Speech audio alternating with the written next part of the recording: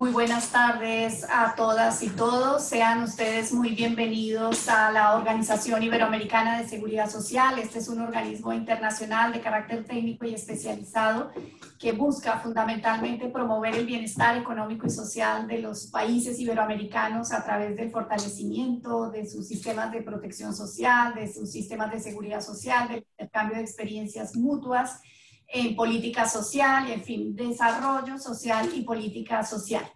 Me complace darles la bienvenida eh, a esta casa, a la Comisión Joven de Mujeres a Venir y a su miembro de la Comisión eh, Directiva del Consejo Asesor de, de, Mujeres a Venir, que es una asociación de amistad hispano-francesa que promueve la generación de redes creadoras de valor en la sociedad y el afianzamiento de los lazos entre España y Francia así como dar visibilidad para la lucha más efectiva contra la desigualdad. En este caso, particularmente quiero felicitar a la Comisión Joven de Mujeres a Venir por la conexión, por la labor que viene desarrollando con estos escenarios de debate, de diálogo, espacios de discusión para dar voz a los jóvenes y a las jóvenes que están entrando en sus primeros pasos al mundo laboral, a este mundo que está en estos momentos tan afectado por esta pandemia que ha generado una crisis no solamente sanitaria, sino económica y social y que ha generado también mayores eh, dificultades para que las personas jóvenes puedan alcanzar un empleo de calidad, un empleo decente como lo mandan los objetivos de desarrollo sostenible. Todos trabajamos por la consecución de esos 17 objetivos de desarrollo sostenible, la Agenda 2030, para que nadie se quede atrás. Y hemos eh, eh, aprovechado las sinergias de estas instituciones precisamente en cumplimiento del objetivo número 17, que es aprovechar las eh, riquezas y las fortalezas de las instituciones públicas, privadas, organismos internacionales para poder conseguir esos objetivos de desarrollo sostenible, que apenas nos quedan 10 años para lograr estos objetivos de la Agenda 2030 y solo me permitiré dar algunas pinceladas de lo que está pasando en la región eh, de América Latina en relación con los jóvenes y las jóvenes. Hay cerca, según el informe de OIT que hizo recientemente, cerca de 107 millones de jóvenes entre 17 y 24 años, que, eh, cuya proporción, el 20% de estos jóvenes en la región ni estudia ni trabaja no están ah, eh, acercándose a la vida laboral de manera eh, de un trabajo decente, sino a través de la informalidad. América Latina está atravesada por una informalidad que cubre el 60% de la población. Esto implica que estos jóvenes y la población en general que trabaja en la informalidad no tiene acceso muchas veces a los sistemas de protección social, de seguridad social y muchas veces a la salud y esta pandemia ha traído unas eh, consecuencias muy graves para lo social. Efectivamente, estamos viendo las cifras que están dando los organismos internacionales, el Fondo Monetario Internacional, que nos está diciendo que la región va a decrecer económicamente en un 9% de su PIB, el producto per cápita también bajará, se destruirán más de 2.700.000 empresas, microempresas, que son el tejido productivo más importante de nuestra región y cerca de 34 millones de personas perderán su empleo. Así que tenemos retos y desafíos de gran envergadura que solamente vamos a poder superar si nos unimos y hacemos alianzas público-privadas y los organismos internacionales trabajamos de manera coordinada y sinérgica para poder apoyar a todas las instituciones que están trabajando para superar esta crisis y para ser más fuertes después de esta crisis que estamos viviendo, que no solamente será, eh, como dije al comienzo, sanitaria, sino económica y social por el aumento de la pobreza. Así que ustedes eh, que son de la Comisión Joven tienen también una responsabilidad en estas eh, situaciones de emergencia para la humanidad y queremos darles voz a través de esta organización que trabaja por el bienestar económico y social. Por mi parte nada más y ya te dejo la palabra, querida Teresa. Bienvenida.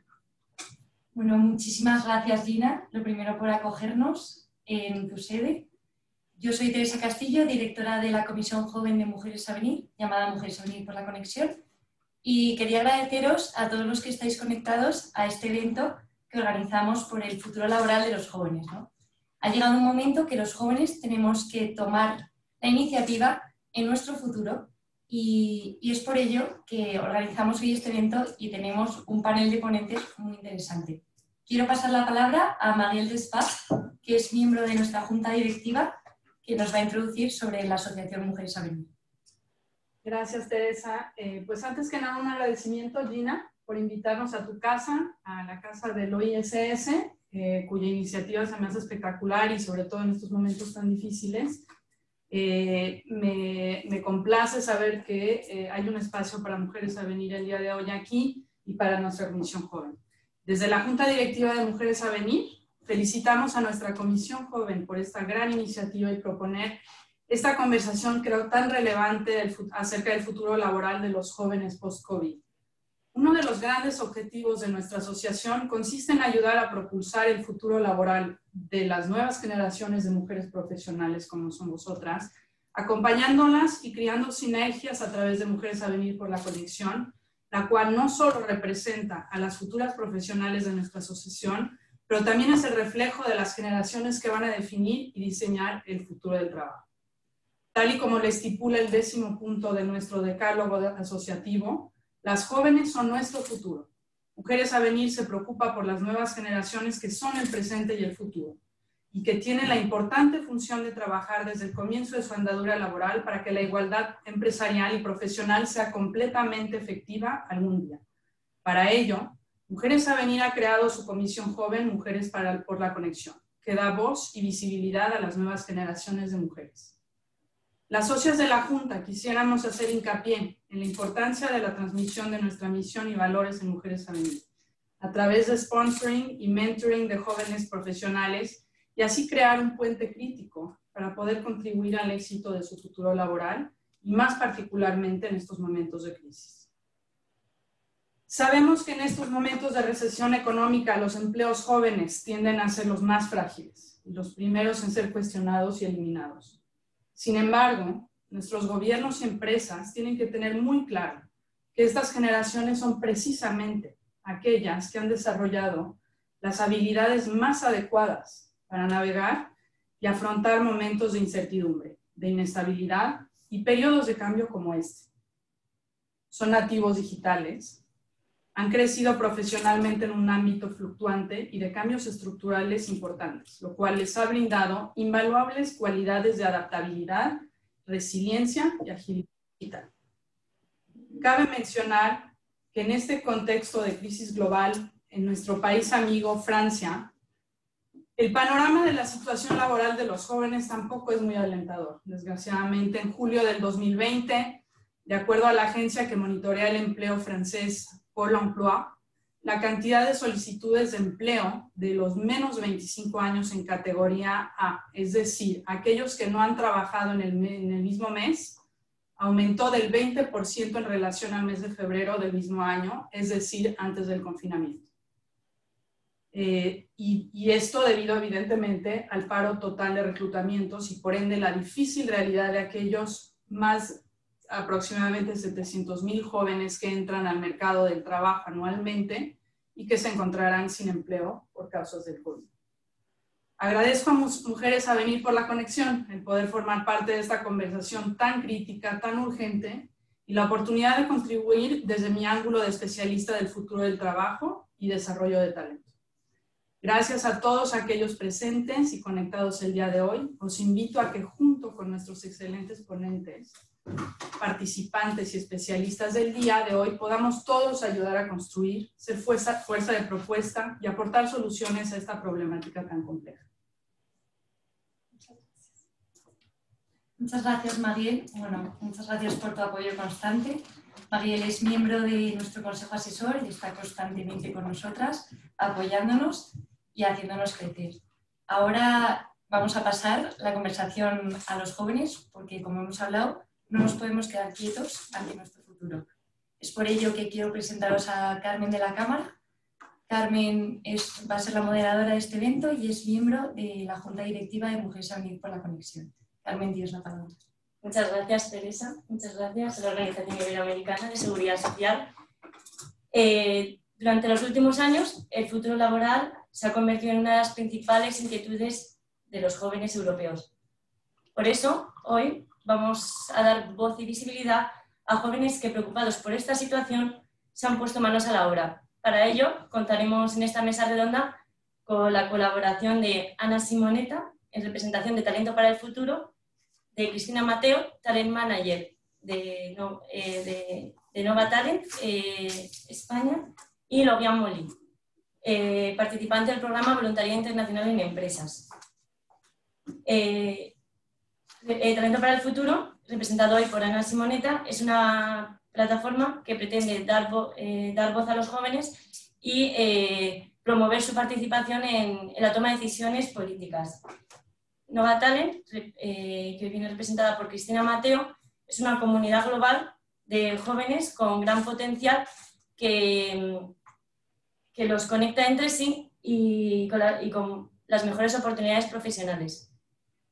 Y Lobian Molly, que ha sido participante en el programa de voluntariado internacional en empresas, eh, nos va a contar un poquito sobre este programa, que es un programa de movilidad internacional en empresas surgido desde Francia y dirigido a jóvenes europeos, eh, jóvenes profesionales de la Unión Europea.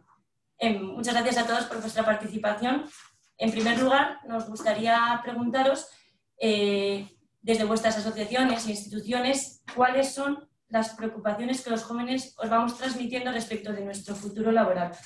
Ana, en, Talento para el Futuro, ¿cuáles son las percepciones que recibís?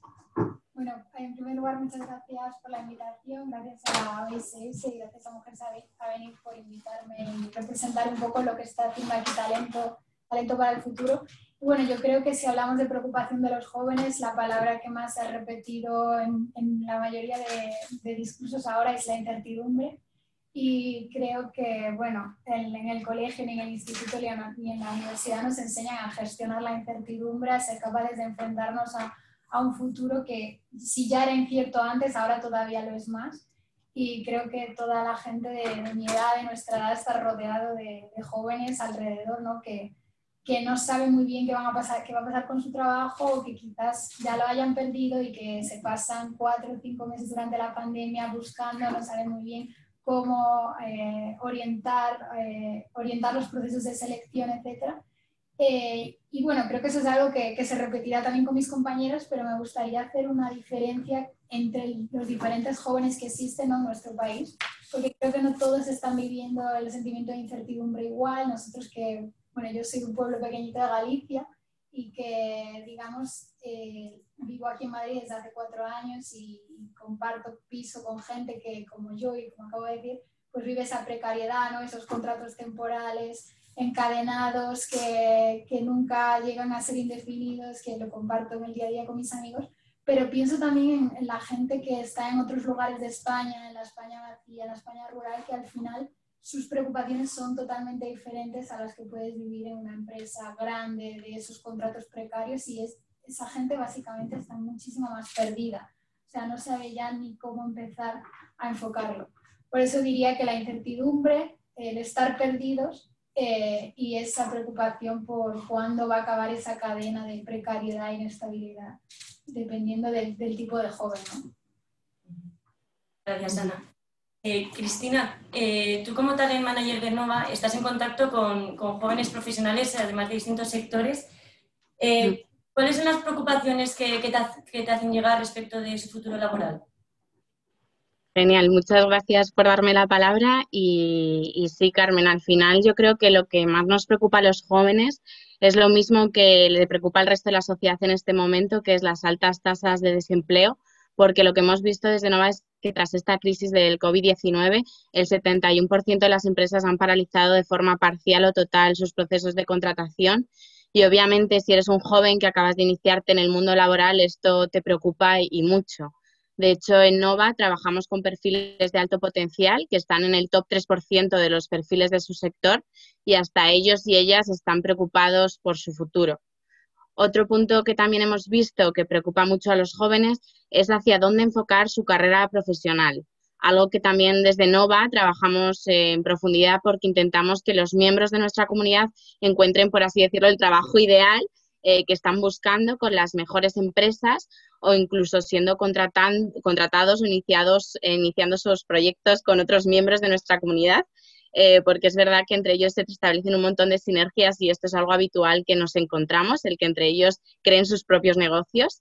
Y yo creo que al final esta situación de incertidumbre, como, como también ha dicho mi compañera, es que eh, los jóvenes se sienten sin trabajo estable ni un futuro claro y la inseguridad laboral sigue primando, ¿no? Los contratos temporales, muy poca sensación de control sobre el futuro, incapacidad de planificarse la vida, eh, yo creo que es el pan de cada día de una generación que, percibe que su situación, por así decirlo, no, va a mejorar en un corto plazo y evidentemente pues la llegada de una nueva generación a un mercado tan inestable eh, pues aumenta un montón las ansiedades, las tensiones y las desigualdades entre los jóvenes.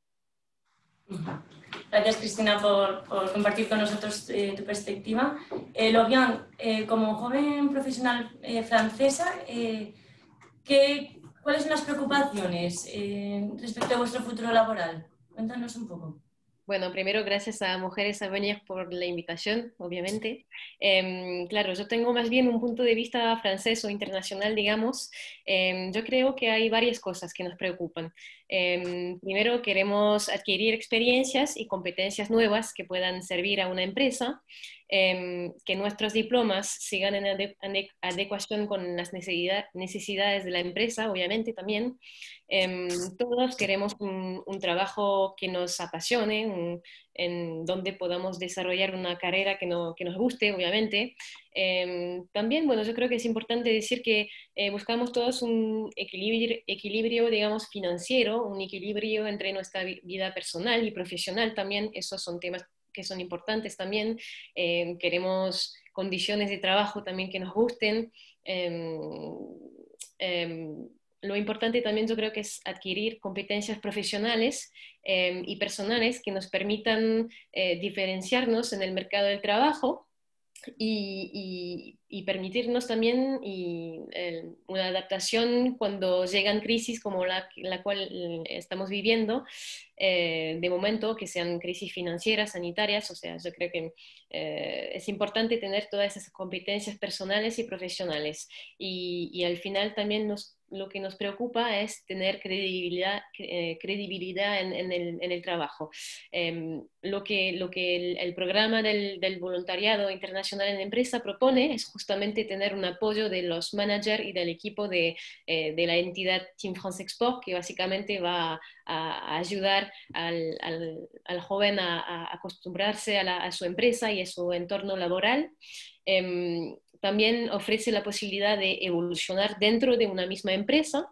Eh, podemos, bueno, una empresa, por ejemplo, puede proponer un contrato indefinido al final de la misión, entonces eh, eso realmente es una ventaja del dispositivo.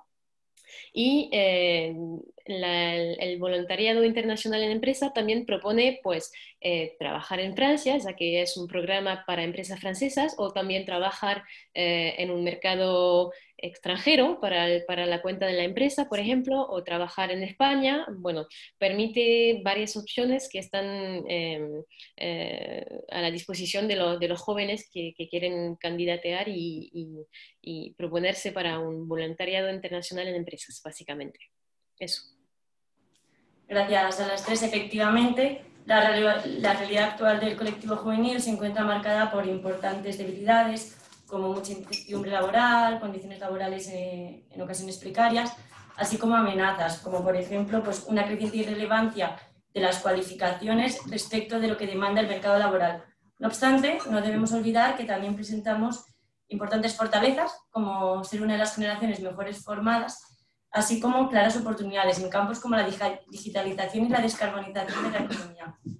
Ana, eh, en tu opinión, ¿A qué crees que deben eh, enfocarse las políticas del futuro laboral para mejorar la, empleabilidad de los jóvenes? Bueno, voy a dar un poco mi opinión y también representar el trabajo que estamos haciendo desde Talento. Que creo que es muy interesante que surja una organización que se dedica a realmente el tema de las políticas públicas, ¿no? que, yo en las asociaciones que he estado, pues he estado en varias asociaciones relacionadas con proyectos relacionados con la juventud y con el desarrollo de liderazgo en IESEC, etcétera, pero realmente esta asociación y la, y la, la razón por la que me uní a ella es porque creo de verdad que los jóvenes debemos trasladar nuestra voz a la toma de decisiones políticas. Existen plataformas que defienden los intereses de todos los colectivos, ¿no? de, las, las mujeres, de, de, de, los sindicatos, de los jubilados, pero los jóvenes, que somos el futuro, no estamos ahí cuando ahora, por ejemplo, en la Comisión de Reconstrucción eh, no había eh, realmente un peso grande de representación de para quién van esas políticas, ¿no? que somos nosotros.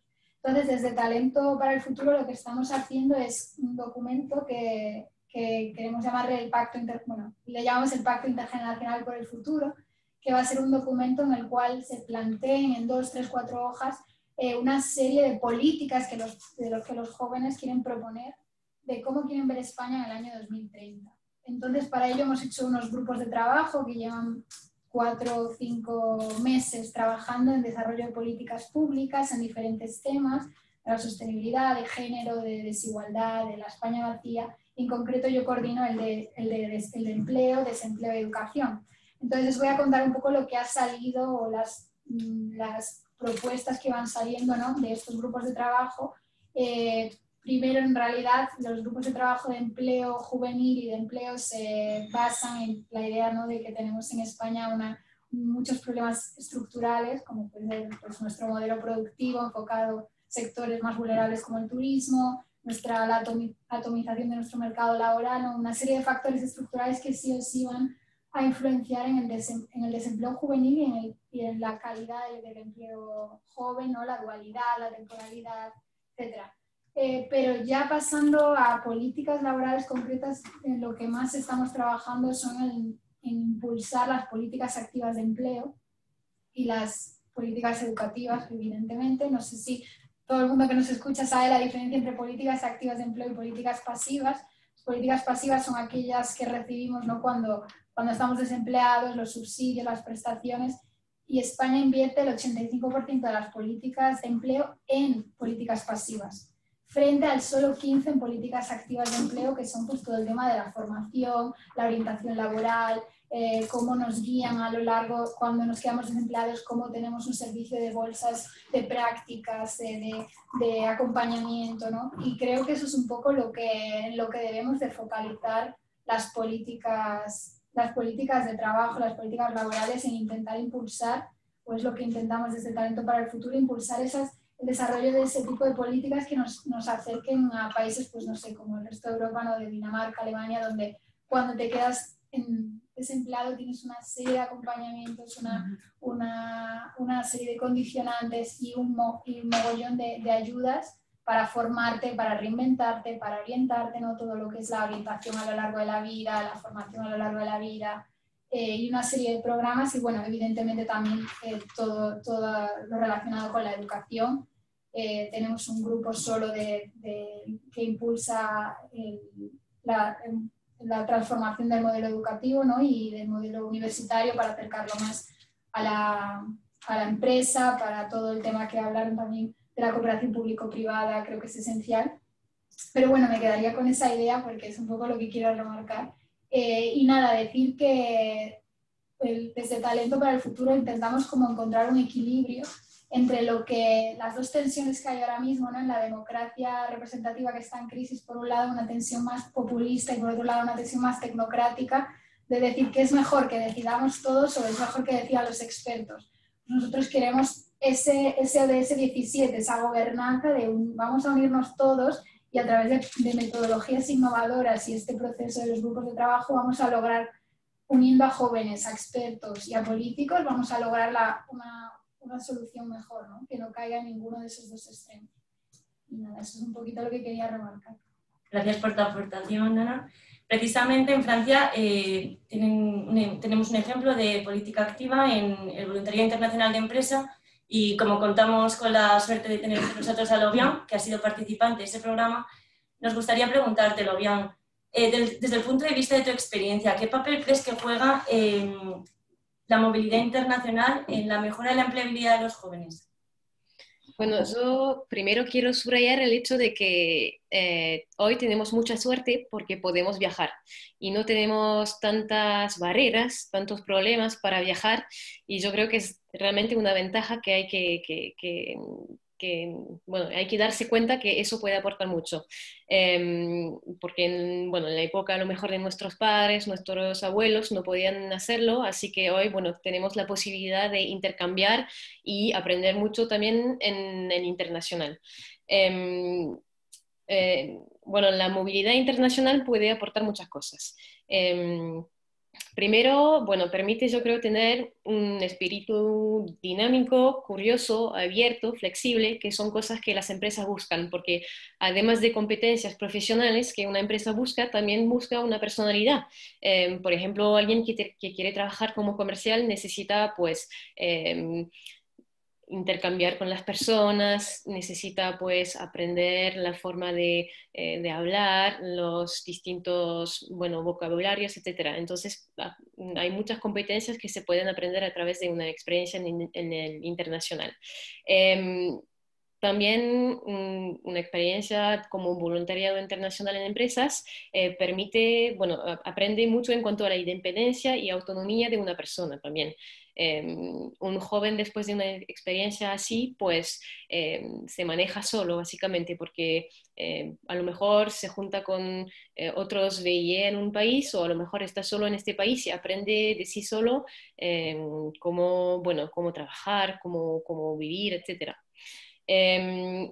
Em, el voluntariado internacional en empresa también permite pues, aprender otro idioma, que eso también es una ventaja importante cuando vuelve a su país de origen o en otros países. Em, puede, bueno, em, con esta experiencia puede aprender nuevas cosas y nuevas ideas que puede también juntar con sus ideas que, que puedan llegar, por ejemplo, de su, de su país de origen. Es una mezcla entre la cultura que ha aprendido y la cultura que, que en la cual nació. Entonces, eh, nuevas ideas pueden surgir eh, de, de, un voluntariado internacional en empresas. Em, también, pues, un joven que ha hecho una experiencia así vuelve a su país de origen, por ejemplo, con una red de contactos, con... Em, a lo mejor ha aprendido un nuevo trabajo, eh, a lo mejor em, sabe cómo tratar y cómo bueno, intercambiar con personas de otra cultura, entonces eh, tiene bueno, ventajas que no siempre se encuentran en el, en el país de origen, por ejemplo. Lo bueno del dispositivo realmente del voluntariado internacional en empresas es que em, la ventaja es realmente que es un dispositivo que está abierto solamente a jóvenes entre 18 y 28 años. Entonces yo creo que los jóvenes deberían aprovechar de este sistema, ya que como lo he dicho al principio, es un dispositivo que realmente está abierto a jóvenes europeos. Entonces, eh, alguien que vive en España puede trabajar para una empresa francesa y puede trabajar en el país que quiera, porque ya tenemos 135 eh, países abiertos al voluntariado internacional en empresas. Entonces, por ejemplo, un joven que siempre ha querido, no sé, por ejemplo, ir a trabajar a Japón, pues lo puede hacer para la cuenta de una empresa francesa. Em, y lo bueno es que a finales de una experiencia como el voluntariado internacional en empresas, tenemos, bueno, son cifras, pero tenemos 90% de los jóvenes eh, que tienen un contrato a final de esta, empresa, de, esta experiencia. 50% se quedan en la empresa de origen, en la empresa que ha generado el voluntariado internacional en empresas, y el 40 otro por ciento tiene bastante experiencia como para ir a trabajar en otra empresa que le guste más, otra empresa que tenga ofertas de, empleo más interesantes, pero 90% del total de esos voluntariados internacionales en empresas eh, llegan eh, al final de la experiencia con un un contrato de trabajo. Entonces, bueno, yo creo que eh, realmente una experiencia internacional eh, aporta nuevas competencias profesionales y personales que hoy se buscan eh, y que se necesitan en empresas y realmente es, es una ventaja del, del, dispositivo. Eso. Gracias, Lorian, por compartir tu experiencia. Es muy interesante todo lo que nos has aportado. Como nos comentaba Mariel, la generación I que son aquellas personas nacidas entre 1980 y 1994, la generación Z, que son los nacidos entre 1994 y 2010, son las generaciones que han convivido con importantes crisis económicas y son los denominados nativos digitales, por su dominio y dependencia de las tecnologías. Tienen perfiles altamente preparados y con una mentalidad disruptiva frente a la tradicional. Buscan participar en la toma de decisiones, exigen transparencia en la gestión empresarial y no son partidarios de las jerarquías. Asimismo, creen un sistema basado en la conciliación y en la búsqueda de la felicidad. Cristina, desde Nova Talent, eh, ¿qué tendencias creéis que han, surgido a raíz de, la COVID a nivel laboral? ¿Qué tendencias creéis que han llegado para quedarse? Cuéntanos un poco. Vale, genial. Bueno, antes de nada decir que Lorraine, como ha comentado, totalmente cierto que se valora muchísimo la experiencia internacional. De hecho, en Nova es algo que valoramos muchísimo y que todos los miembros de nuestra comunidad tienen esa experiencia internacional. Y contestando a lo que me dices tú, Carmen, de qué tendencias a nivel de mercado laboral creo que han llegado para quedarse, eh, al final la llegada del COVID-19 y el confinamiento yo creo que ha supuesto un cambio radical, eh, no solo en la forma en la que trabajamos, sino también en los modelos laborales que tienen que adoptar y adoptarán todo tipo de empresas. De hecho, aunque en algún momento volvamos a la llamada nueva normalidad, la flexibilización de las formas de trabajo será esencial para que las corporaciones puedan seducir, contratar, retener al mejor talento, además de aumentar la productividad de su trabajo diario y así la calidad de vida y profesional de todos, que es algo que, ahora más que nunca buscamos. En Nova, mm, de hecho, decimos que ahora mismo estamos viviendo una época de guerra por el talento, porque hasta las mejores empresas cada vez eh, les es más complejo retener personas de alto potencial el talento cada vez pues tiene más opciones de carrera, desde trabajar en consultoría tecnológica, estratégica, bancos de inversión, despachos, eh, emprendimiento, incluso montar sus propias ONG. Y, de hecho desde Nova Talent también estamos ayudando a esas empresas punteras eh, a encontrar y, captar y retener ese, ese talento, el mejor talento que ahora mismo hay, hay en España. Por otro lado, yo creo que se ha producido una digitalización, como tú también has, dicho, acelerada del sector empresarial, eh, liderada yo creo que por el teletrabajo como método así de prevención, eh, como ahora mismo estamos haciendo, de hecho, y con la nueva normalidad muchas compañías han tenido que rediseñar todas sus instalaciones para seguir un poco los protocolos y garantizar esa seguridad frente, frente a la pandemia y parece que el punto medio entre el teletrabajo radical o el fin del concepto tradicional de oficina como tal está en modelos híbridos donde se permite que los empleados combinen el teletrabajo con el trabajo presencial. Eso es algo que, se mantendrá, que parece que se va a mantener. De hecho, en Nova, el equipo de Nova Talent así lo estamos haciendo, combinando ambos.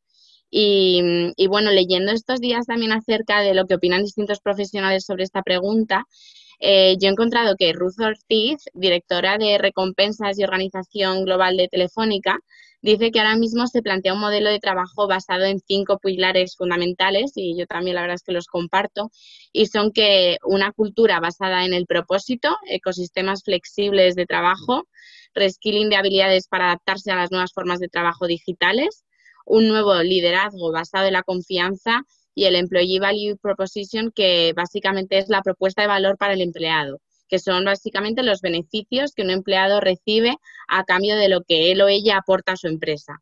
Y para nosotros desde Nova, el que las empresas tengan un Employee Value Proposition fuerte ayudará a retener ese talento en, las empresas.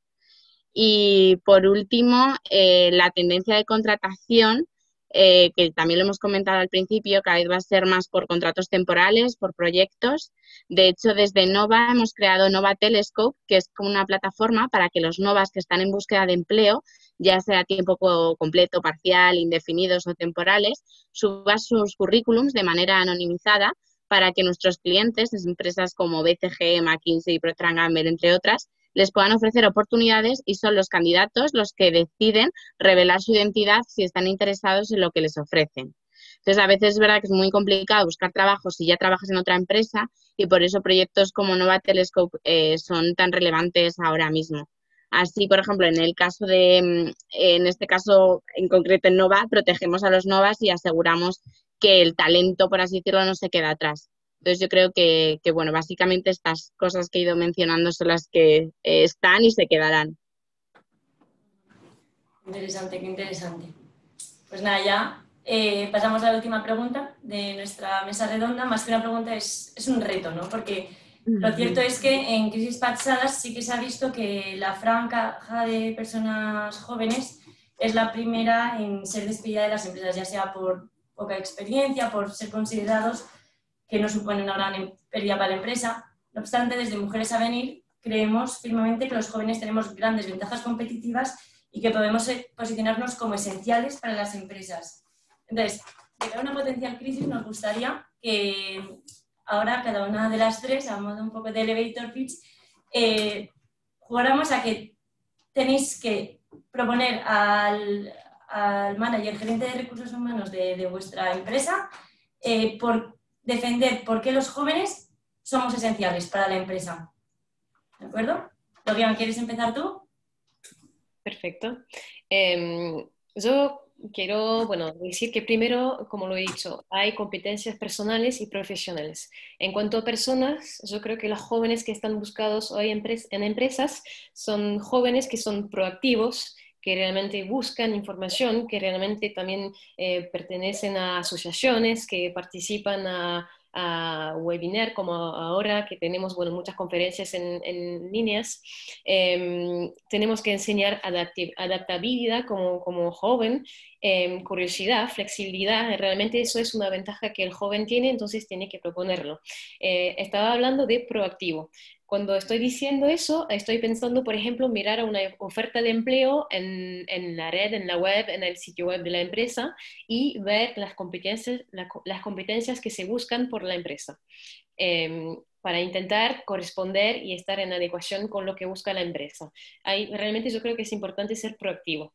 Em, también, bueno, hoy estamos hablando mucho, bueno, Cristina lo, lo, estuvo diciendo, pero estamos hablando mucho de digital. El digital claramente es un, eh, un sector que, bueno, mm, gente a lo mejor mayor no maneja tanto como la, la, franja de población de, jóvenes, de, los 20, 30 años, pues manejamos el, digital y eso realmente eh, una persona joven lo tiene que proponer y, proponer, mm, bueno, esas ventajas y esas competencias que tiene en, en este, en este sector.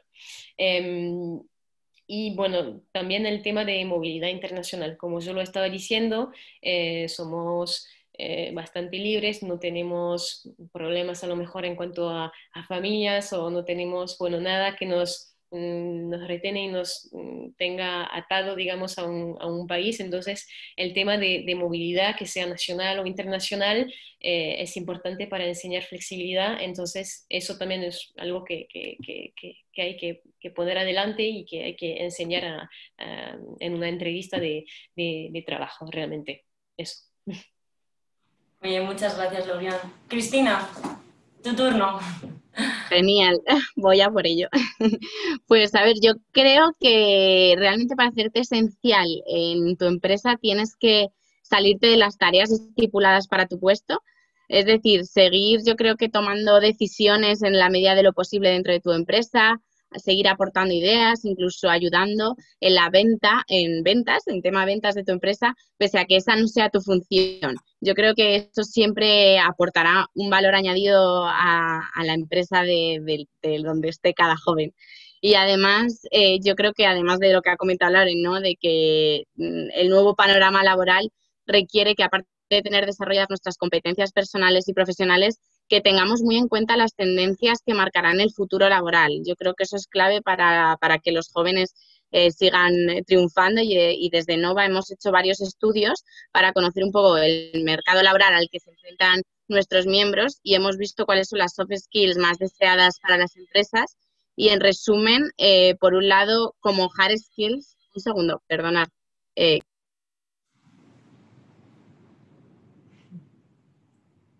Perdonar que estaban llamando y no se me escucharía, ¿verdad? No, sí, te hemos oído. Vale, lo siento. Eh, lo que estaba comentando es que yo creo que cuando hicimos el estudio en, desde Nova de cuáles son las skills más deseadas para las empresas, eh, creo que los jóvenes tenemos la suerte de poseerlas en la mayoría de, los casos. Y es que, por un lado, como hard skills, eh, las empresas valoran mucho la capacidad de resolución de problemas, las competencias digitales avanzadas. Eh, ya no, es, no creo que sea suficiente con manejar Internet o saber enviar un correo electrónico, sino saber sobre Big Data, inteligencia artificial, robótica o incluso programación. Y yo creo que a veces los jóvenes saben más sobre, sobre estos temas y somos los que mejor, eh, de hecho, lo, lo gestionamos. También se valora mucho que seamos expertos de nuestras áreas, pero que también participemos, como he dicho antes, en la toma de decisiones de la empresa, dentro de la empresa, y que lo hagamos con transparencia, desde un estilo de dirección más horizontal, que es como también Carmen ha dicho que es lo que más valoramos, y que tengamos habilidades de comunicación, ventas, aunque seamos un perfil súper técnico, yo creo que eso es fundamental y de hecho los jóvenes al participar en tantos eventos como Loren también ha dicho y demás, poco a poco lo vamos desarrollando, entonces ahí jugamos con ventaja. Y por último, como soft skills que más valoran las empresas, es el espíritu de equipo, la capacidad de adaptación, la flexibilidad, la iniciativa, el liderazgo y la creatividad. Eh, también salió súper bien puntuada la curiosidad, que también la han mencionado mis compañeras, y es un poco ese hambre de aprender eh, esas ganas de ir más allá, de conocer cosas nuevas, de estar involucrados en cuantas más actividades mejor. Y yo creo que eso, vamos, a los jóvenes nos define y por ahí tenemos que seguir tirando. Estupendo, estupendo, Cristina. Ana, cuéntanos, ¿cómo nos defenderías a los jóvenes como personas esenciales en las empresas? Bueno, evidentemente estoy de acuerdo con todo lo que han dicho mis compañeras, pero por aportar algo diferente, eh, yo creo que si como jóvenes lo que tenemos que mostrar a la empresa es la propuesta de valor de cada uno, ¿no? Y para eso cada uno de nosotros tenemos que autoconocernos y conocernos mejor. Por eso también hacer hincapié en la importancia de que la educación y las, en general los sistemas nos ayuden a entendernos mejor a nosotros mismos, qué nos gusta, qué no nos gusta, cuál es nuestra pasión, cuál es nuestro propósito, que hablábamos, hablaba Cristina de esas eh, purpose-driven eh, empresas, ¿no? empresas que se, que se, que se enfocan en un, en un propósito y tú como joven tienes que entender cuál es esa causa a la que quieres contribuir, cuál es, esa, cuál es, la, cuál es tu pasión, qué es lo que te gusta hacer, qué es lo que se te da bien qué es lo que se te da mal y cuáles son tus valores. Y creo que la mayoría de jóvenes, por desgracia, no tienen la oportunidad para entender todo eso de ellos mismos hasta que quizás ya tenemos 50 años y tenemos una crisis existencial de por qué habíamos estudiado eso, por qué hemos trabajado en, el otro. Entonces yo le, le aconsejaría a los jóvenes que, que intentasen vivir cuantas más experiencias mejor. O sea, mi, mi filosofía es tú vale a todo. ¿Quieres ir a representar a un evento? Vale. ¿Quieres eh, gestionar esto? Vale. Eh, y eso te llevará a viajar, a liderar proyectos con 20 años, con 21 años, a estar en asociaciones como las nuestras y gracias a esas experiencias y una reflexión interna te darás cuenta de realmente qué es lo que te gusta, qué es lo que quieres y cuando lo sepas podrás vendérselo bien a la empresa. Y bueno, como a una empresa le diría que nos dejen, que nos, que nos den la oportunidad y de confiar en nosotros y que verán que aparte de todas esas soft skills, hard skills, pues tenemos muchísima pasión, muchísima ilusión, muchísimas ganas y muchísima capacidad, más de la que muchas empresas creen.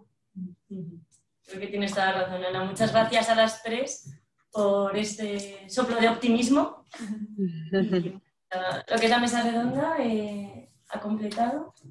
Ahora bueno, le vamos a dar la palabra a Víctor Hugo Villacres, que nos va a presentar el informe del Observatorio Iberoamericano de Empleo, Emprendimiento y Seguridad Social para Personas Jóvenes. Bueno, Teresa, si me permites, para darle también un saludo de bienvenida a nuestro secretario general, Max Trejo, que es el secretario general del Organismo Internacional para la juventud y para Iberoamérica, un gran líder eh, que promueve el empoderamiento de las de los mujeres y los hombres jóvenes y que también promueve mucho el emprendimiento de los jóvenes, que va a hacernos el honor de clausurar este evento. Y para enmarcar la presentación de nuestro consultor del, del Observatorio de, de, de, Juventud y de Previsión Social, decirles que este fue un encargo que nos ha hecho la cumbre de jefes de Estado y de Gobierno por eh, sugerencia de la Conferencia de Ministros de Trabajo desde el año 2016. Mm, Estamos trabajando en este observatorio eh, para mejorar la situación de los jóvenes en el mundo laboral. Y yo quiero decirles que después de haberlas escuchado ha sido muy enriquecedor este diálogo, eh, haber escuchado experiencias y tanto empoderamiento de, de, las jóvenes que se han presentado en esta, en esta mesa redonda. Eh, decirles que también hay unas nuevas competencias que queremos que los jóvenes se apropien y que tienen que ver con las competencias financieras y con que defiendan el trabajo decente y con protección social, porque uno de los objetivos de desarrollo sostenible es el trabajo decente, pero con protección en la seguridad y salud en el trabajo. Y ahora que estamos en esta transformación y en estas megatendencias que son esta transición demográfica por el envejecimiento de la población, esta transición tecnológica que estamos viviendo ahora mismo todos y aprovechar esa eh, transición también ecológica para trabajos, eh, los jóvenes para que trabajen en la economía verde, en la economía blanca, en esa economía azul, esa economía de colores, la economía creativa también, esta economía naranja, tienen unas grandes posibilidades de poder volcar allí sus talentos, de volcar tan sus conocimientos, esa creatividad. Así que es una, una oportunidad muy grande de poder generar este diálogo, no solamente entre los jóvenes, sino intercultural y también interorganismos, eh, sociedad civil y organizaciones como las de ustedes, este, esta Mujeres Avenir, que aprovecho para darle un gran saludo, enviarle un saludo a María Luisa de Contes, que es la presidenta de Mujeres Avenir y que es un poco la responsable de que estemos aquí eh, todas hablando del tema de, del, del empleo y el futuro laboral de las personas jóvenes en en el mundo y concretamente en América Latina. Así que eh, en cumplimiento de ese mandato que nos ha dado la Cumbre de Jefes de Estado y de Gobierno, llevamos este observatorio eh, conjuntamente con la Organización Internacional para la Juventud y para Iberoamérica y la Organización Iberoamericana de Seguridad Social para que ese trabajo de los jóvenes tenga protección social, esté cubierto por la seguridad social. Y para eso hemos contado con la, el estudio de don Víctor Hugo Villacrés que ya se ha presentado en el comienzo de esta sesión. Y así para este informe, que es ya el segundo informe de este observatorio, el primero fue sobre legislación eh, y programas sobre empleo, emprendimiento y seguridad social en Iberoamérica, este segundo informe es sobre cultura previsional y las competencias financieras para el emprendimiento y el primer empleo en Iberoamérica. Así que muchísimas gracias, eh, don Víctor Hugo, y es suya la palabra. Muchísimas gracias, secretaria general de la OIS, eh, a Gina Riano. Quiero agradecer también a la OIJ, a Mujeres Avenir, por estar en, en, esta mañana para compartir, mañana acá en el Ecuador, tarde, entiendo yo ya en España, para compartir eh, un poco de lo que hemos venido trabajando eh, hemos preparado cuatro láminas muy simples como para poder tener eh, una, una, clara visión estadística de lo que está sucediendo a nivel de la región. Ustedes me dicen si es que eh, estoy pudiendo compartir las láminas. Sí, sí se está viendo. Si le das ¿Sí? Ah, ok. Ok, perfecto.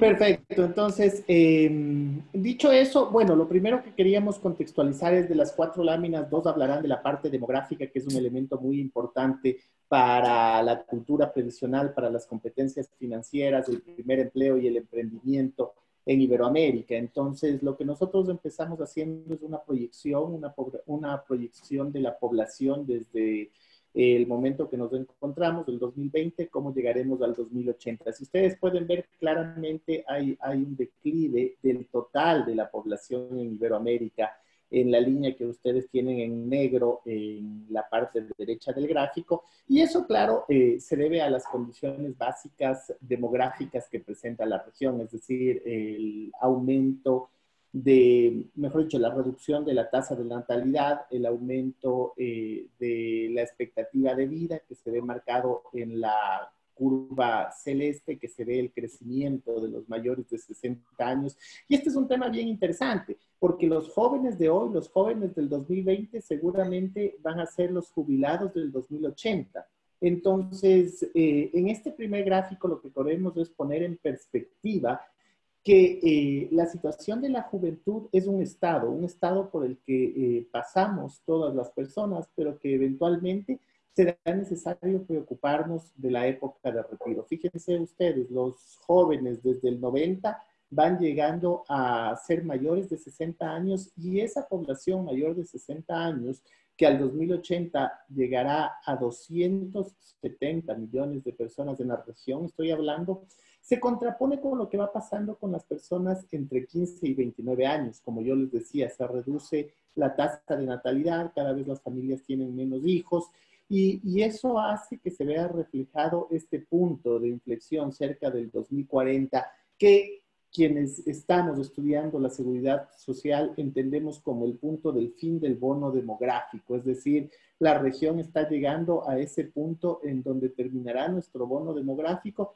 y tendremos que pensar qué tipo de ciudades, qué tipo de países estamos construyendo para esta población, la población mayor de 60 años. Acá a la derecha, acá a la izquierda de ustedes tenemos la población total de Iberoamérica al momento, al 2020, somos 473 millones de habitantes. De esos 309 millones, eh, tienen edades diferentes a la que deberían tener los considerados jóvenes de entre 15 y 29 años, según eh, las legislaciones de los diferentes países de la región. ¿Qué ha pasado? Bueno, ha llegado el COVID-19, como hablaban eh, en la mesa redonda de manera muy válida y como nos exponían, y este COVID-19 ha exacerbado la pobreza extrema, especialmente en las mujeres. Y vamos a ver adelante en las láminas cómo existe esa distorsión entre hombres y mujeres. 435 millones de mujeres y niñas a nivel mundial están viviendo actualmente por el COVID-19 con un dólar 90 diario. Entonces, este es como un primer escenario, un escenario demográfico. Acá vamos a ver un escenario económico que está vinculado al escenario demográfico. En este escenario económico vemos la catástrofe que causa el COVID-19 eh, a nivel de todos los países de la zona euro, de Japón, de China, a nivel de América Latina, eh, Mercosur, la comunidad andina. Es decir, todos estos signos negativos muestran la contracción que va a tener la economía en el 2020 y con eso lo que decían las personas, lo que decían las eh, mujeres que me antecedieron en la palabra. Evidentemente, eh, eso va a implicar reducción en las posibilidades de empleo, eso va a implicar o ya ha implicado que muchas de las empresas cambien sus jornadas laborales. Y claro, esto tiene una connotación profunda en lo que yo les decía en la primera lámina, cómo ustedes van atando esas condiciones demográficas que marcan el hecho de que las personas deberíamos buscar mayor protección social para el futuro, los jóvenes actuales, que seremos los eh, adultos mayores del mañana, cómo deberíamos buscar mayor protección social. Y fíjense cómo cambia la sostenibilidad en eh, la seguridad social. El número de personas entre 15 y 29 años sobre el total de personas mayores de 60 años en la región. Fíjense, para, el, para 1990 más o menos existían 3,3 personas entre 15 y 29 años eh, con respecto a cada persona mayor de 60 años. Esa cifra va decreciendo. Llegamos al 2020 en donde ya somos 1,7 o son 1,7 personas de entre 15 y 29 años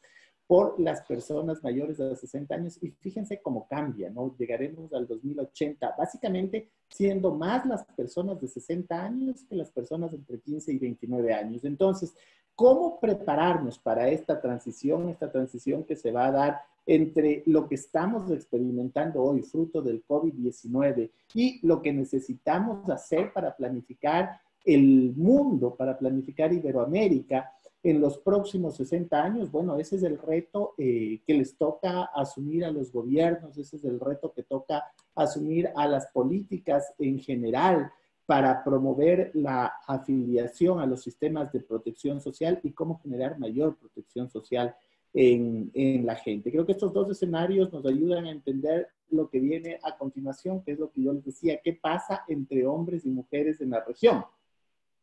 Bueno, lamentablemente eh, es una región desigual como el mundo es desigual entre las posibilidades de empleo entre hombres y mujeres, pero además de eso tenemos, como era de esperarse, un decrecimiento en los diferentes países. En las barras negras ustedes van a ver la cantidad de mujeres jóvenes entre 15 y 29 años al 2020 y en la barra azul ustedes están viendo la cantidad de mujeres sobre el total de mujeres del país al 2080. Entonces, fíjense cómo los porcentajes decrecen en todos los países y eso marca también el tema de que hacia el 2080 vamos a ser una población con diferentes características, una población que si bien es cierto tendrá todas las capacidades tecnológicas de las que hablábamos, estas nuevas generaciones, nativos digitales, es decir, serán aquellos que tienen muchísima facilidad con los temas tecnológicos, sin embargo hay un tema o hay dos temas que van a ser vitales en lo que podamos hacer. El primero,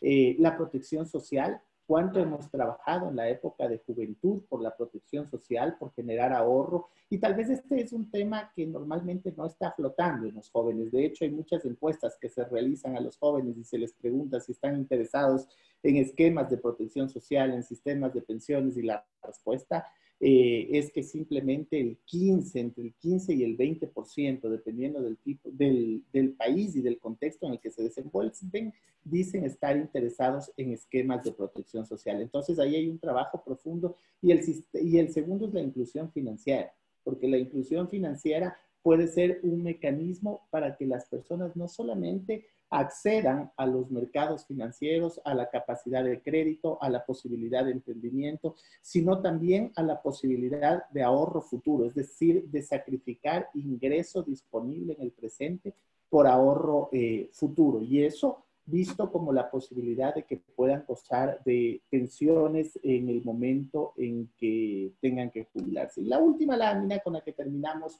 este abreboca simplemente es, es muy corto el tiempo como para presentarles todos los datos del informe, pero sí creo que quede eh, un abreboca relacionado con lo que estamos viviendo hoy día. La cantidad, fíjense, de personas ocupadas con ingresos promedio inferiores al salario básico a nivel de la región. Fíjense, en el caso de hombres, es alrededor del 52%, mientras en mujeres es el 60%, eh, las personas entre 15 y 24 años cuyo ingreso promedio es inferior al salario básico. Y eh, si hablamos entre 25 y 44 años, tenemos el 29% en hombres, en eh, mujeres tenemos el 42%, para un total regional, como vemos, que, que, es lamentable, que es un tema en que se ha profundizado con el COVID-19 y seguramente en el que debemos seguir trabajando, no solamente eh, la población, sino sobre todo eh, los gobiernos, los ministerios de trabajo, los ministerios de seguridad social, promoviendo una serie de, de mecanismos que procuren el empleo formal, que procuren que las y los jóvenes, al igual que digamos, que las y los jóvenes puedan acceder a empleo formal y, e, y, que exista mayor equidad de género, es decir, que no exista esas divergencias que estamos viendo en la parte derecha de la lámina actualmente. La brecha salarial a nivel regional llega al 16%, es decir, las mujeres reciben, las mujeres jóvenes en promedio, el 84% de salario de lo que reciben los hombres. En el trabajo no remunerado de, del hogar, las mujeres dedican entre una y tres horas más que lo que dedican los hombres a las labores domésticas. En América Latina y el Caribe, más del 54% de mujeres en empleos no agrícolas se desempeñan en sectores informales y por tanto no cuentan con afiliación social, no, no cuentan con afiliación a la seguridad social, no cuentan con protección social. Y otro tema que para mí es importante es que eh, las mujeres tienen lamentablemente mayor probabilidad de desempeñarse en empleos vulnerables con respecto a los hombres. La estadística a nivel mundial muestra que el 49% de mujeres trabajan en empleos vulnerables. Toda esta es una realidad, una realidad que tiene que cambiar eh, con mayor cultura financiera en los jóvenes, eh, dejando de lado ese, ese dilema que muchas veces se plantea en la política pública, si es primero importante crecer o redistribuir. Eh, bueno, el estudio concluye que hay un efecto correlacional interdependiente entre las dos variables, que implica que la región necesita crecer, crecer con redistribución y generación de empleo formal para evitar los círculos de pobreza. Hasta ahí lo que queríamos comentarles en esta tarde ya en España. Muchas gracias a, a todos. Muchísimas gracias.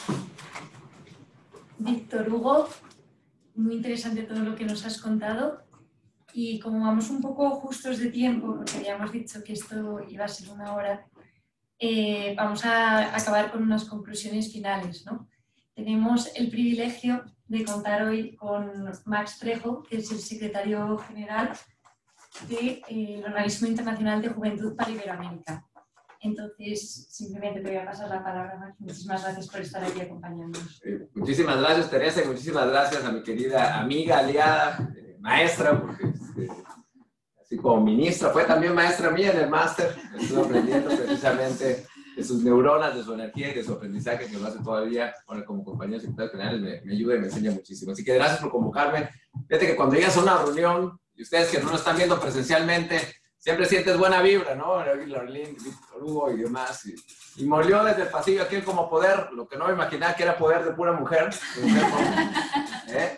Así que yo celebro, querida Gina, secretaria amiga, de verdad, muchísimas gracias por invitarme a este evento en donde no solamente vengo a aprender del gran trabajo que hacen desde un ejercicio técnico, sino felicitar a todo lo que están haciendo, pues esta gran asociación de mujeres Avenir, ¿no? Lo presume ven, ¿no? Este, Mariela, muchísimas felicidades a ti y a todo tu equipo, la verdad que tienes un equipazo. Ahí esas reflexiones de Carmen, de Ana que estás haciendo y tú, Teresa, que vienes haciéndolo muy bien, junto con lo que hizo Laurien y, y Cristina, muchísimas gracias también por aportar. Creo que podemos crear algo, pero así nos dejaron en minoría Víctor Hugo y aquí con mi querido amigo y aliado también Julián Monroy, gracias también, quien, quien da seguimiento a todo este ejercicio. Yo brevemente, porque lo han seleccionado y lo señalaba muy bien. Nosotros hemos venido tarde precisamente por una reunión que teníamos con el Foro Económico Mundial y la OIT sobre temas de trabajo decente. Y lo decía claramente eh, con la OIT que tuve la oportunidad precisamente por el secretario general Guy Ryder, que en la conferencia de ministros que preside la OSS, desde ahí se creó este Observatorio Iberoamericano de Seguridad Social. Pero decimos claramente en algo que han señalado aquí muy bien, ¿no? Cómo el efecto de la pandemia ha afectado a las personas jóvenes, ¿no? Cómo las crisis cíclicas, crisis cíclicas también están haciendo, bueno, no, no mencioné, pero aquí hay presente y futuro eh, hay también una compañera de la Organización Internacional de Juventud, Ana María, que no está aquí y que habla futuro también para, para ello, ¿no? Pero es cómo está siendo afectado de una forma de, de este proceso, y lo leo, sistemáticos, profundos y desproporcionados para las personas jóvenes que parece que ese diálogo guion lo traían ustedes muy bien en todo este ejercicio, ¿no? Es decir, sabemos que la pandemia, el tema sanitario no ha afectado tanto a los jóvenes, pero sabemos que el impacto social y económico sea precisamente los jóvenes las personas más afectadas que tengan impactos graves y duraderos, como lo estás marcando en esa transición muy bien llevada a cabo, Víctor Hugo, y sobre todo lo estamos viendo en dónde se enfoca más, en el tercer lámina que dabas en los países de bajo ingresos, ¿no? Cómo se están dando fuertemente para ello, ¿no? Y esto existe varias razones, por ejemplo, y ya me quito aquí de, del speech que había preparado algunas cosas, pero hay que decir que esa vieja normalidad, ya que decías muy bien, me quedo con ese concepto de transición, transformación llena, esa transición que estamos pasando, esa vieja realidad en donde los jóvenes triplicaban el desempleo respecto a las personas adultas, pues no lo podemos permitir la nueva normalidad, como esos problemas estructurales que decías tú muy bien, Ana, y que no se pueden estar llevando a cabo, ¿no?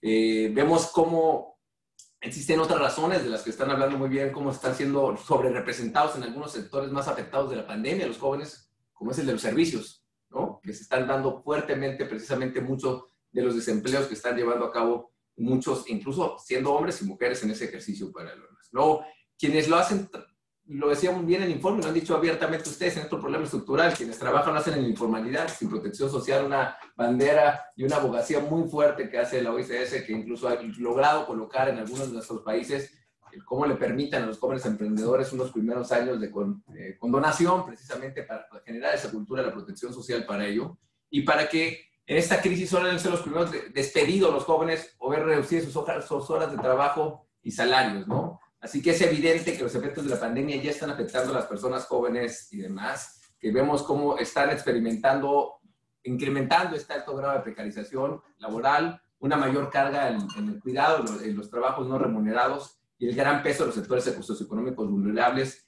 que les ha permitido difícil de eh, conciliar algunas cosas. Aquí me quedaba hablando de esa transición, y perdón con esos apuntes que, que, hice. Me gustó mucho, eh, eh, el tema del concepto cuando decía, hablabas de, por un lado vemos el equilibrio individual que a nivel personal queremos hacer entre esa pasión, la actualización de nuestro cerebro con esas competencias, habilidades que queremos llevar a cabo, ¿no?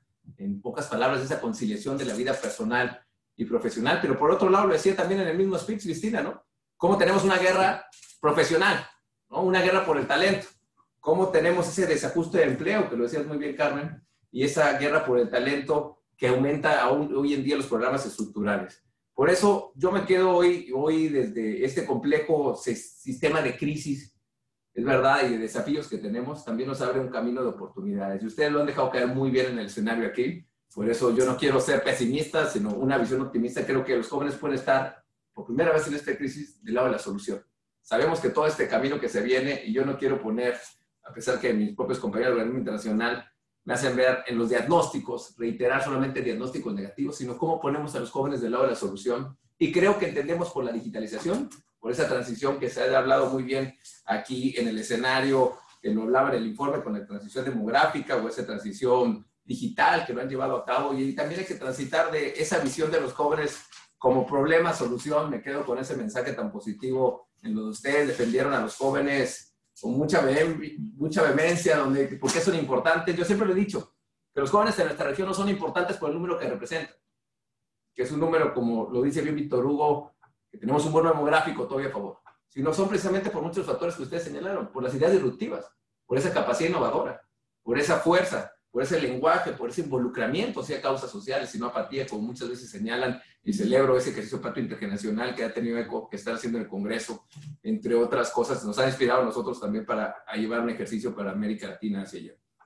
Pero lo creo entonces fielmente en esta crisis de que hay que involucrar a los jóvenes, no del lado de los problemas, sino del lado de la solución. Y por eso nosotros del Organismo Internacional de Juventud quisimos posicionar a las personas jóvenes como protagonistas del lado de la solución. Yo celebro que que Gina Manuel nos acompañara precisamente en toda la presentación del Plan 30. Hicimos un plan para los próximos 30 meses que conlleva los 30 años de este organismo internacional. Tenemos la mitad, somos el hermanito menor de la OICS que veo que tiene 60 años, que conlleva, que es en el 2022 y que conlleva esta década decisiva, que es la agenda de 2030 y ese escenario. Y van dos vectores. Por un lado es cómo generamos esos marcos de protección para las personas jóvenes.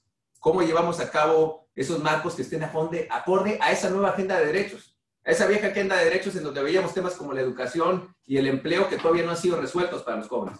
Pero en esa agenda de derechos que ellos vienen reclamando, peleando en la calle, en temas como la igualdad, temas como el medio ambiente y en temas como hoy lo plantearán, como será la democratización de la tecnología. Nosotros precisamente en aquella cumbre Cartagena de Indias logramos conformar ahí para que se diera un protocolo adicional a la Convención Iberoamericana de Derechos de los Jóvenes y se convirtiera en Tratado Internacional de Derechos de las Personas Jóvenes, que ya es una realidad en Uruguay, que ya es una realidad en Ecuador, que ya es una realidad en República Dominicana y que vendrá a ser realidad en dos países. Precisamente que habla de ese ejercicio de la nueva agenda de derechos que permite a los jóvenes participar, lo estamos haciendo a través de parlamentos digitales, y como aquí estos diálogos se quedan vacíos y no se avanzan, yo quisiera invitar que en ese parlamento digital también estén las personas de mujeres a venir. No sé dónde tenga su, su acción, si en todos los países de América Latina, pero desde ya Teresa, al menos en los de España, que estén aquí presentes que vamos a llevar esos parlamentos digitales y me gustaría que estuvieran participando ustedes. Serán precisamente una construcción de abajo hacia arriba de 100 personas, 100 líderes jóvenes que estén participando durante 21 días, co-creando y enseñando un ejercicio de soluciones y planteamientos que vincularemos al sector público-privado. Y se trata también, perdón, en ese ejercicio de derechos, como en pocas palabras, el joven tiene un marco de protección de derechos, una exigencia de derechos, y por el otro lado, los estados tienen un ejercicio que pueden orientar sus sus políticas públicas para que aumente su calidad, su ejercicio de políticas públicas y en este caso un marco presente y futuro de esa escuela que viene, es decir, esa transformación que va a tener la educación y el sistema de trabajo. Pero por el otro lado, y algo que se habló muchísimo aquí, no solamente nos quedamos en el marco de derechos, sino algo que tiene el ADN ese plan es lo que se mencionó principalmente aquí. ¿Cómo empoderamos a las personas jóvenes? Entendíamos, y lo decían muy bien con el ejercicio de los ayer millennials como hoy, hoy la generación Z como ustedes, que representan a los jóvenes, es que hay que decirlo. El, virus ha traído muchas cosas negativas, pero ha hecho una muy positiva. Lo dicen los técnicos cómo ha acelerado la digitalización durante seis años. Ha propagado la digitalización en el mundo. Y quienes entienden mejor esas habilidades son las personas jóvenes. Y son precisamente estas generaciones. Por eso vemos una oportunidad ahí. Y lo decían muy bien, Lauren, eh, del voluntariado internacional de empresa, que me encanta eh, el ejercicio que, que, lo hablabas, es cómo podemos empatar precisamente ese talento, eh, formar o potenciar ese talento o esas capacidades eh, que tienen esas habilidades, fortalecerlas con inteligencia emocional, con habilidades socioemocionales y competencias digitales. Y eso se lo consigue un programa que llamamos Empoderamiento, un programa que precisamente atiende y que vamos a ir a una especie de movimiento para formar un millón de personas jóvenes. Me encantaría ver ahí Cristina y, celebrando, porque es lo que lo haremos juntos, ahí Gina puso el acento importante intergeneracional, que es formar durante seis meses una especie de, de máster digital, donde agarra todos los ejercicios de marketing digital, de big data, de, de SEO, de CRM, con unas salidas y una especialización. La verdad es un programa muy bueno, muy completo, que hemos logrado conseguir financiación tanto de empresas como sector público. Y ya es una realidad, vamos a tener 100 mil becados en Panamá, 100 mil becados en República Dominicana, 50 mil en Guatemala, 100 mil en México y 100 mil en Brasil, con lo cual ha, ha cobrado un elemento muy bueno en estos marcos de pandemia. Queremos llegar a un millón de personas, pero queremos llegar no solamente por fortalecer en aptitudes, en inteligencia emocional y en aptitudes a las personas jóvenes, para precisamente con esas competencias digitales, nuestra visión de empoderamiento no solamente es de que ellos se empoderen para encontrar una mejor empleabilidad, sino nuestra visión es cómo el joven se empodera en la tecnología para el día de mañana impulsar sus ideas en dinámicas de emprendimiento o en impacto social. Hicimos todo un recorrido de ahí de retos digitales y todo un ejercicio que van a tener becas y nos decía Gina en la parte final, bueno, hay que poner también un acento de voluntariado, en el voluntariado, en cómo tristemente vimos que muchas personas mayores murieron sin saber usar incluso el móvil, cómo podríamos hacer que ese conocimiento no solamente resuelva retos del sector público-privado, sino que también haya una formación adultos mayores para de 20 horas para estar llevando a cabo el escenario. Es un, un, un movimiento que involucra organismos internacionales, países, empresas, y me encantaría que el voluntariado internacional de empresas y que también Nova Talent, si se quisieran sumar, pues sería algo muy positivo. Estamos haciendo, según el país, toda esa adecuación, no solamente para que sea formación, comunicación, sino la vinculación de que todas estas personas que se formen, pues cobren precisamente para evitar esa guerra, esa guerra de talentos o esa guerra laboral que hacías ver, Cristina, sino hacer un ejercicio de vinculación, porque no puede haber ese desajuste. Por un lado, los jóvenes implican el desempleo respecto a las personas adultas y luego las empresas están peleando a ese tercio solamente que está participando del, del espacio laboral. Así que es lo que queremos contribuir con este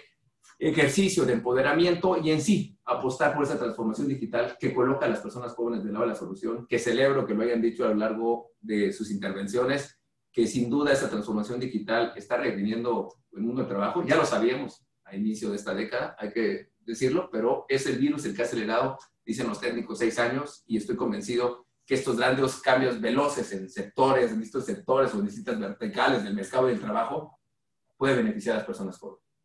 Puede ser una crisis que nos coloque al lado de la solución y esa visión optimista es la que nosotros queremos colocar desde el Organismo Internacional de Juventud y por lo cual atiendo con mucho gusto, con mucho agradecimiento por, el aprendizaje que me en esta tarde todos ustedes y decirles que queremos trabajar en conjunto en lo que ya venimos haciendo, que nosotros queremos centrarnos en esa formación de competencias digitales que respondan a esas dinámicas del mercado laboral y de las aspiraciones de las y los jóvenes, que les permita no solamente enfrentar esos desafíos estructurales que estábamos diciendo muy bien y los decías tú en tu intervención, Ana, sino que les permita liderarlos, ¿no? Yo soy un fiel convencido de ese empoderamiento de las personas jóvenes y ya con esto me quito el micrófono. Si hay que llevar a cabo esa transición precisamente, hay que hacer esa transición no solamente de los jóvenes, sino hacerlo de una forma intergeneracional, que es lo que plantearemos también para una próxima cumbre iberoamericana, basado en unas experiencias que ha tenido España y otros países para llevar a cabo todo esto con el Programa de Naciones Unidas para el Desarrollo y naturalmente lo haremos en conjunto, mi querida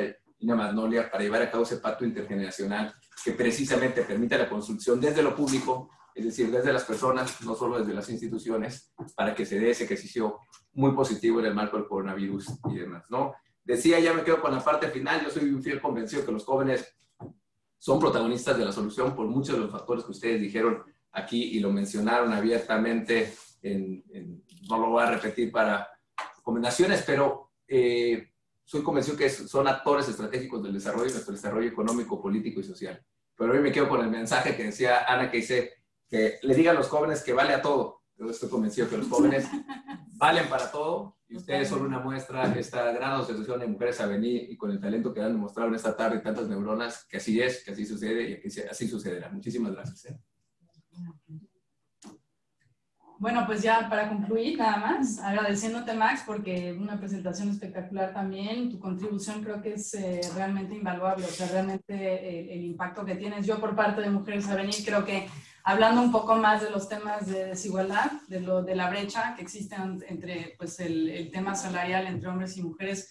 Como bien lo presentaste, Víctor Hugo, y quiero retomar un poco eh, tus temas, me quedo con tres temas. Para mí, realmente, cuando te escuché a Tiana, escuché las diferentes ponencias, eh, una, realmente un enfoque al empoderamiento eh, financiero, y de la mujer, por favor, porque creo que tanto en la región iberoamericana como en España aún y en Europa, ¿eh? están todavía muchísimo rezago y una brecha que, que tenemos que compensar.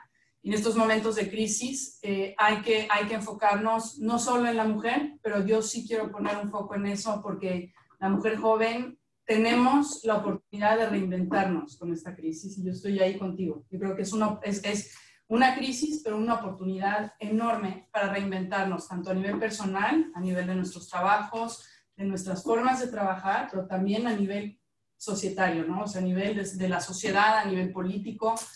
Tomemos esta oportunidad para darle la oportunidad a los jóvenes, nosotros las generaciones un poco más maduras, Gina, eh, demos, pasemos la batuta, demos la oportunidad enfoquémonos en esas habilidades, esa, esa, ventaja competitiva eh, de la cual, bueno, ya no repetiré todos los detalles, pero que conocemos y sabemos de uh, nuestros uh, nativos digitales. Entonces, enfoque en la parte empoderamiento financiero, empoderamiento digital, ¿no? Para las mujeres nuevamente, porque siento que esa brecha, Víctor Hugo, eh, pues se debe mucho también al acceso a la educación digital a las mujeres, no solo financiera, ¿ok? eh, meterlas, involucrarlas más a una educación de, de, lo que se llama en inglés el STEM, ¿no? De los, eh, esa, esa, esa, esa, línea de ingeniería, de matemáticas, de ciencias, de digital, ¿no? Entonces tenemos que meter a más mujeres en ese tipo de educación y, y finalizar también con la parte que tú, habla, que tú mencionabas, Ana, sobre darle la voz a los jóvenes.